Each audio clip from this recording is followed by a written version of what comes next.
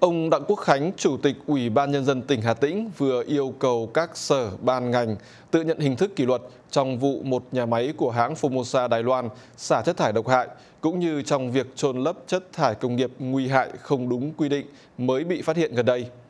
Yêu cầu bằng văn bản của Chủ tịch tỉnh Hà Tĩnh được gửi đến các giám đốc các sở tài nguyên và môi trường, công thương, công an tỉnh, trưởng ban quản lý khu kinh tế tỉnh, chủ tịch ủy ban nhân dân thị xã Kỳ Anh và một số đơn vị khác.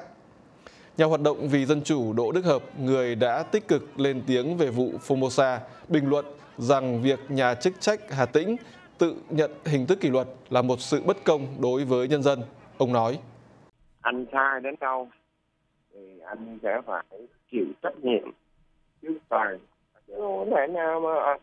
anh làm sai xong rồi thôi cho tôi xin là nhờ nhận cái sai đó và cho tôi chịu à, tôi xin lỗi hay là và cái kỷ lực đó là quá vô lý đối với à, người dân Việt Nam trong nước. Cái điều đó nó thực sự là quá vô lý. Nếu mà họ họ cứ làm mãi như vậy thì đất nước này nó sẽ tan nát rồi. Anh làm, xảy ra một cái tệ như vậy mà anh à, đòi cái mức xử lý nó nhẹ nhàng đi thì nó bất công với người dân cái gì mà người dân Việt Nam nói chung và người dân bốn tỉnh miền Trung đang gánh chịu. Nói gì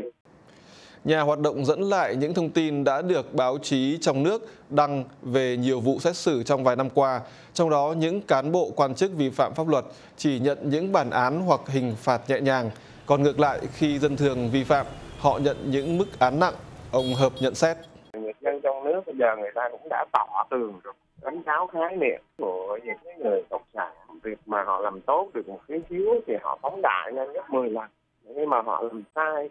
mà nó nó nó to như một đình thì họ thu nhỏ nó lại thành cái con kiến. Thì họ không nên dựa vào cái thành tích uh, tham gia cách mạng hay là những cái gì đó mà họ đã làm tốt trước đó để mà họ chịu hoặc nhận một cái mức án một mức xử lý nó nhẹ nhất cái đó không được. Vụ xả chất thải của Formosa đã gây ra thảm họa cá chết hàng loạt ven biển bốn tỉnh miền Trung Việt Nam hồi đầu tháng 4. Chủ tịch Hà Tĩnh yêu cầu rằng việc kiểm điểm và tự nhận hình thức kỷ luật phải hoàn thành và báo cáo Ủy ban Nhân dân tỉnh trước ngày 15 tháng 8.